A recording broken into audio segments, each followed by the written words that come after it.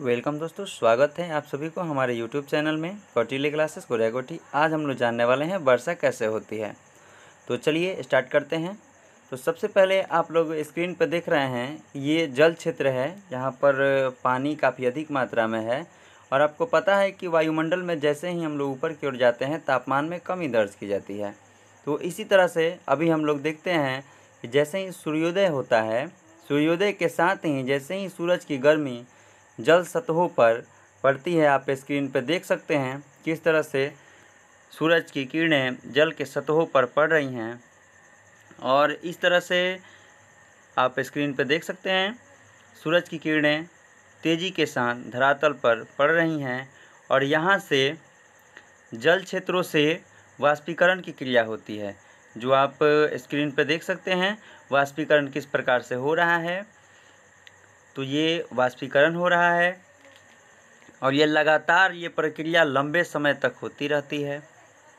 ये प्रोसेस सूरज की किरणें जैसे ही धरातलीय क्षेत्रों पर पड़ती हैं, वो धीरे धीरे वाष्प के रूप में जल को ऊपर की ओर खींच कर लेकर जाती हैं। और ये जो प्रक्रिया होता है, ये लंबे समय तक लगातार चलते रहती हैं। ये आप देख सकते हैं वाष्पीकरण किस प्रकार से हो रहा है। और ये वीडियो आपको बहुत आसानी के साथ हर चीज़ को समझाने में सक्षम है। ये आपको आसानी के साथ वर्षा कैसे होती है, इस प्रोसेस को बहुत ही आसानी के साथ समझा दिया जाएगा। और इस तरह से और सभी वीडियो देखने के लिए हमारे चैनल को सब्सक्राइब करें और एकदम यकीन मानिए कि आपको हर चीज़, हर टॉपिक बिल्कुल बारीकियों के साथ एकदम नए तरीके से आपको समझाया जाएगा। तो आप देख ही रहे हैं, ये किस प्रकार से, ये इमेजिन के माध्यम से आपको हर टॉपिक पे जानकारियाँ दी जा रही है। तो वाष्पीकरण का जो दर होता है, वो लगातार वायुमंडल में हो रहा है। आप स्क्रीन पे देख रहे हैं और ये प्रक्रिया लंबे समय तक चलती है। और उसके साथ ही धीरे धीरे ये छोटे छोटे बूंदों में बननी शुरू हो जाती है। आप देख सकते हैं जल वाष्प ऊपर की ओर गए हैं, क्षोभ मंडल में, और यहाँ पर तापमान कमी, तापमान कम हुआ है। और इसके साथ ही आप छोटे छोटे बूंद भी देख रहे हैं। ये कॉन्डेंजेशन है, और ये संघनन की क्रिया धीरे धीरे हो रही है। तो इस तरह से संघनन की क्रिया हो रही है। आप समझ सकते हैं इस चीज़ को। संघनन की क्रिया लगातार होते रहती है। ये एक से एक छोटे छोटे टुकड़ों में जल की बूंदें आपस में मिलती रहती हैं और ये आप स्क्रीन पर भी देख रहे हैं, ये छोटे छोटे टुकड़े किस प्रकार से यहाँ पर आपस में जुड़ रहे हैं। और इसके साथ ही ये सभी आपस में जुड़कर आप देख रहे हैं, बादलों का निर्माण धीरे धीरे हो रहा है। और ये आपका बादल बन गया है और इस तरह से बादल बनने के बाद ये वर्षा होने के लिए तैयार हो जाता है। तो इस तरह से आप हमारे चैनल को सब्सक्राइब करें और देखते रहें अनेक प्रकार के वीडियोज़।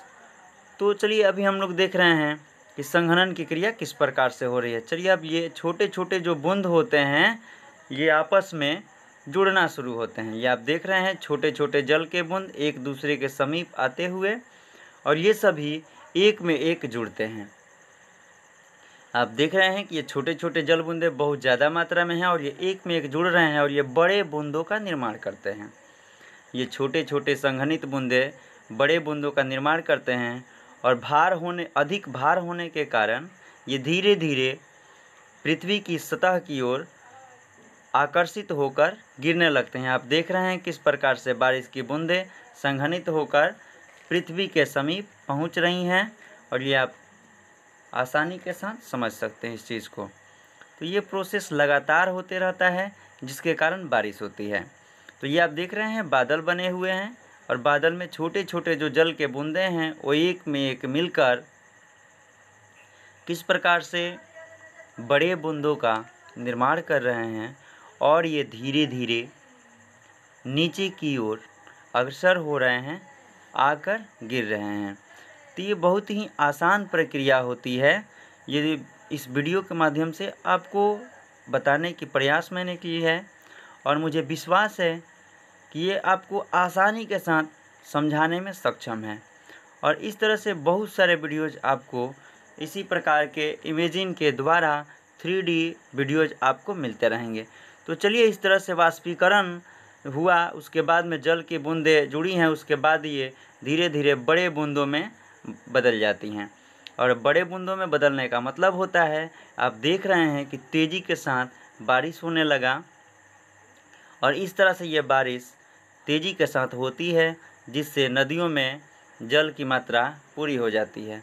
और इसके साथ ही तापमान के दर को भी नियंत्रित करने में मदद मिलता है। तो आप आसानी के साथ देख रहे हैं, धरातलीय क्षेत्रों पर बारिश किस प्रकार से हो रही हैं और ये नदियों के द्वारा ये आप नदी नदी की भी तस्वीरें देख रहे हैं। ये नदियाँ जल को ढोकर समुद्रों में लाकर मिला देती